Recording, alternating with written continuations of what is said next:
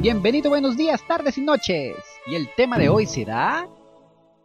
¿Cuánto gana el Papa Francisco en el Vaticano? Es una pregunta que si no estamos familiarizados con la Iglesia Católica o con la institución católica, además inesperada, puede ser ofensiva por los miembros de esta religión. El Papa no recibe ningún pago, por lo tanto la respuesta es que no gana nada por trabajar como Papa, pero él está al servicio de Dios y de las personas que lo necesiten. De acuerdo con la Iglesia Católica, es el representante de la Iglesia Católica, no tiene asignado salario.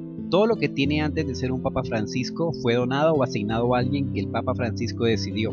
El Papa no tiene un salario. Todo lo que necesita el Papa, la administración del Vaticano se lo proporciona. No importa lo que sea y siempre y cuando sea para su uso personal, desde una pasta dental hasta la renta de cualquier auto, casa, hotel, etc que necesite, por ejemplo, el transporte, el Papa es de los más caros, ya que se tiene que transportar en el auto al lugar que visitará por un momento y medio desplazarse en este mismo auto dentro del país que visite, y demás.